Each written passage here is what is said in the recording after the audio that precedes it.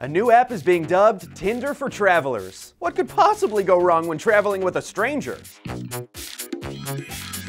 Hi guys, I'm Sean Dowling with Buzz60. The travel app Tripr promises to be a less sexual version of Tinder and will connect tourists and locals so they can explore cities together. So instead of hoping you'll run into some good looking backpackers when on vacation, you can book them ahead of time. Tripr wants to make travel more social. The app lets you plan who you're going to meet so you don't leave it to chance. Tripr connects travelers through Facebook. Enter preferences about who you'd like to meet up with, and then you can anonymously swipe through potential travel buddies. You swipe yes to show interest in meeting when you arrive. If you both pick each other, Tripr lets lets you chat through the app or via text message. But if you get cold feet about meeting them, now they have your phone number.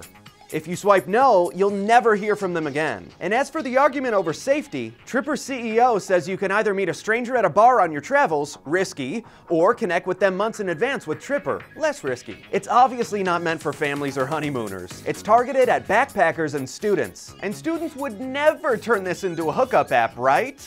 Yeah, they would. Buzz60. Now you know, pass it on.